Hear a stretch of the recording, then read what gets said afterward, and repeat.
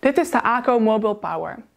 Dit stroomapparaat is verkrijgbaar in drie varianten, namelijk de AD 2000 Digital, de AD 3000 Digital en de AD 5000 Digital.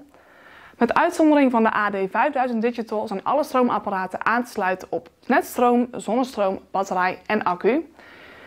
Dit apparaat is geschikt voor de grotere weilanden en voor de grotere dieren. Ik heb hier op tafel de AD 2000 Digital liggen met een kabeltje voor de batterij, een kabeltje voor de accu en de overige aansluitingskabels. Aan de binnenkant van het apparaat zie je een kabeltje zitten. Aan dit kabeltje kun je dus de andere kabels bevestigen voor een eventuele accu of voor een batterij. Ik ga jullie nu laten zien hoe je de batterij bevestigt aan het apparaat. Als eerste plaats je de batterij in de behuizing. Dan pak je de kabeltjes die aan de batterij vastzitten en pak je dit kabeltje. Dan bevestig je rood aan rood en dan natuurlijk ook zwart aan zwart. Nou, dit proces zou hetzelfde zijn voor de kabeltjes met de accu, maar dan werk je met klemmetjes.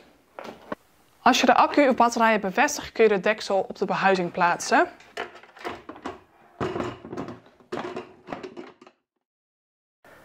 Verder heeft het apparaat nog een aansluiting voor het netstroom en voor de zonnestroom. Deze aansluiting is voor de aardpen en deze aansluiting is voor de stroomdraad. Ik ga hem nu even voor jullie bevestigen. Wat je dan doet is je draait deze rode knop ervan af. Je pakt dit rondje en dat plaats je op de schroef. Dan draai je de rode knop er weer op. Dit bevestig je vervolgens aan de stroomdraad. Hetzelfde doe je dus voor de aansluiting voor de aardpen.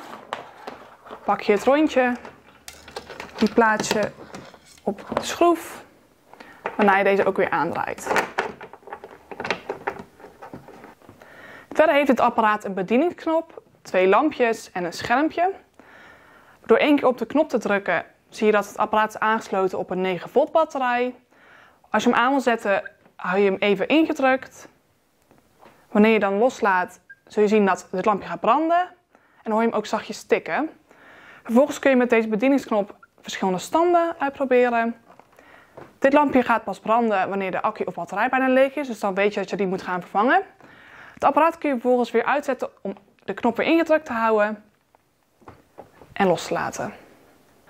Bij dit apparaat worden handleidingen meegeleverd, zodat jij gemakkelijk dit apparaat kan aansluiten op jouw wei.